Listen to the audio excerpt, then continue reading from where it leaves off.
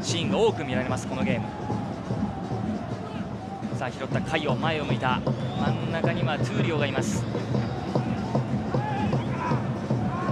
小屋松からカイオのクロスでトゥーリオ!カイオのクロス合わせたのはトゥーリオで2対0点差を広げます京都。絶妙なタイミングで入ってきましたね。カイオの左足のクロス合わせたのはヘディングでトゥーリオ。強烈な高さを持ってる選手なんですけど、え高さ以上にこうタイミングでマッチをさせて相手の前に入ってのシュートですから見事な連携によるシュートですね。このゴールで2対0